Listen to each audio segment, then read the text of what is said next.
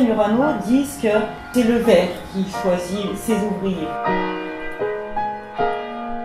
J'étais là en vacances et j'ai rencontré un maître verrier qui m'a fait euh, toucher la matière pour la première fois.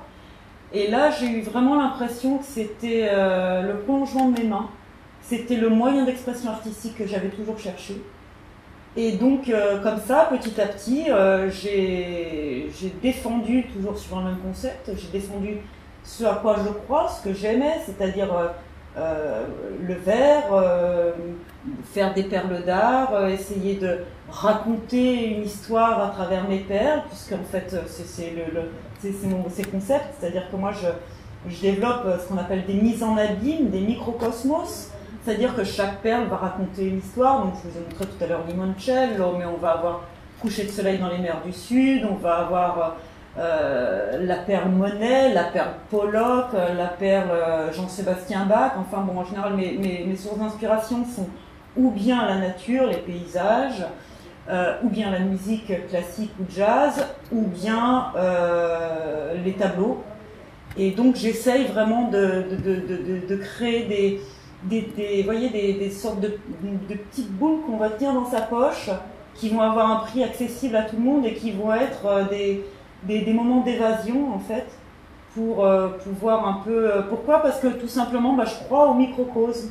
C'est-à-dire que on est tous d'accord, on a un prix dans le macrocosme, mais on ne peut pas le changer malheureusement. Euh, parce que dans ces cas-là, bon nombre d'entre nous supprimeraient les guerres, les maltraitances sur les enfants, etc. Donc, puisqu'on ne peut pas le changer, ce qu'on pourrait tous faire, et je pense que dans ces cas-là, effectivement, on pourrait changer le macrocosme, c'est à notre échelle euh, changer notre microcosme, c'est-à-dire s'entourer de gens qui sont de notre univers, qui nous font du bien, essayer de ne pas leur faire de mal, et réciproquement.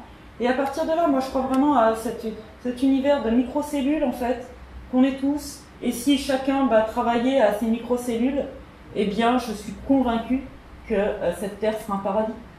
Euh, c'est la même chose pour la même logique pour la pollution, etc. Donc, avec mes pères, eh ben, c'est le même concept. J'essaye surtout de ne pas copier.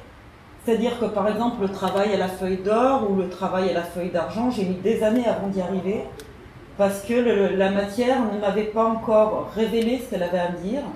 Par exemple, je travaille très peu les murines parce que je trouve que bah, c'est une très très grande tradition. Euh, elle a déjà beaucoup parlé et à moi, elle ne m'a pas encore parlé de façon différente.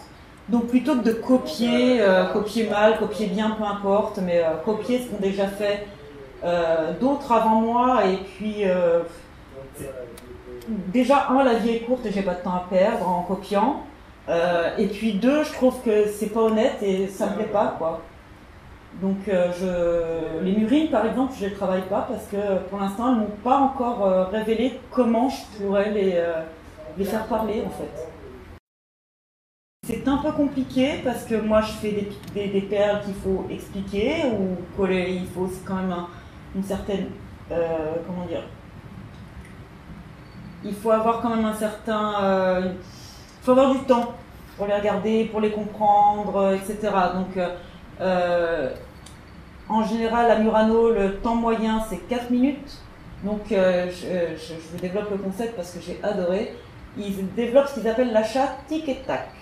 Alors, je m'explique. Tic, le touriste est entré. Il a choisi, il a payé, tac, il est déjà ressorti.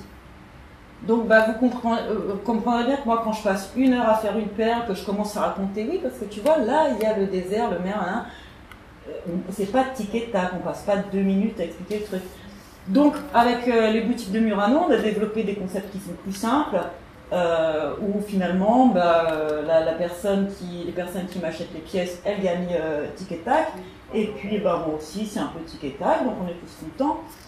Euh, j'ai une boutique par contre, une vitrine pardon, pendant très longtemps à l'Opéra La Fenice. Et donc là j'avais développé des collections euh, exclusives qui étaient aux couleurs de l'opéra, etc., qu'on avait fait en collaboration. ça a changé de gestion, donc maintenant ils ont pris, je ne vais pas faire de pub, mais ils ont pris des grandes, euh, des, des, des, grandes marques connues qui payent en fait pour avoir la vitrine la finish. Donc moi, je suis très honorée de l'avoir eu en fait à titre gratuit. Et puis d'avoir été dans le lieu le plus prestigieux, parce que pour moi c'était un tel symbole d'être là, j'adore l'opéra en plus, donc c'était l'occasion. Et donc dernièrement, là pour la Glass Week 2018, euh, j'ai inauguré au Palazzo Contarini Polignac une, euh, une vitrine qui, j'espère, euh, dans le concept store, durera si les pièces s'éventent. Quand je suis arrivée ici il y a 9 ans, j'avais à peu près 5-6 points de vente de boutiques de créateurs à Venise. En l'occurrence, elles ont toutes fermé. Et donc des boutiques de créateurs à Venise, euh, créateurs qui vendent des pièces de créateurs de verre, on va dire, euh, à l'heure actuelle, à part ceux qui sont à leur compte et qui vendent leur création, il y en a plus. Travaille pour des designers, c'est-à-dire des personnes qui... Euh, euh, il y a par exemple une designer, elle, est venue euh, il y a deux ans ici pendant cinq jours à l'atelier. On a travaillé ensemble les collections, etc. Maintenant, elle vient plus, bien évidemment, parce que théoriquement, j'ai compris ce qu'elle voulait. Et maintenant, elle m'envoie la commande sur PDF via mail et je lui envoie à Londres les collections. Je travaille beaucoup sur commande.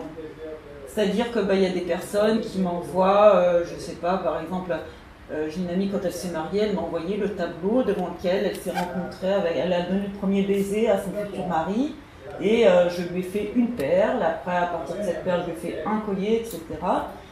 Donc moi je dis toujours, je peux faire, vous pouvez m'envoyer des photos d'un paysage, ce que vous voulez, euh, moi, je peux très bien faire qu'une perle, ça coûte le même prix. Il ne faut pas penser que tout de suite, parce que c'est euh, la pièce unique, on va payer plus cher. Non, non. Parce que pour moi, c'est créatif. Euh, après, c'est vrai que si vous commencez à m'envoyer un tableau abstrait où il n'y a que du blanc, là, ça va être plus compliqué. Hein le côté créatif. Mais pourquoi pas? Et donc, il y a les particuliers qui me commandent des pièces. Il y a des personnes qui viennent ici, qui prennent rendez-vous. Euh, il y a des personnes qui m'ont connu par l'intermédiaire de sites internet parce que donc moi j'offre la possibilité euh, de la visite de mon studio, la démonstration. Après les gens s'ils ont envie d'acheter, ben voilà je suis contente. Euh, j'offre la possibilité d'offrir des cours entre guillemets à trois jusqu'à trois personnes, c'est-à-dire ben voilà c'est des personnes qui viennent ici pour en vacances, qui ont envie de toucher la matière, d'avoir leur père. Donc ça, ça va d'une heure et demie jusqu'à 24 heures pour qui voudrait se former. Dernièrement, d'ailleurs, j'ai formé, euh, formé, aussi des personnes. Et puis, j'offre aussi une troisième alternative qui est euh, la création d'un bijou contemporain. Donc, les personnes viennent ici, euh, et puis on fait un atelier. En fait, elles choisissent leur perle, elles regardent la composition, elles se font des boucles d'oreilles, un collier, et puis elles font exactement la création qu'elles désirent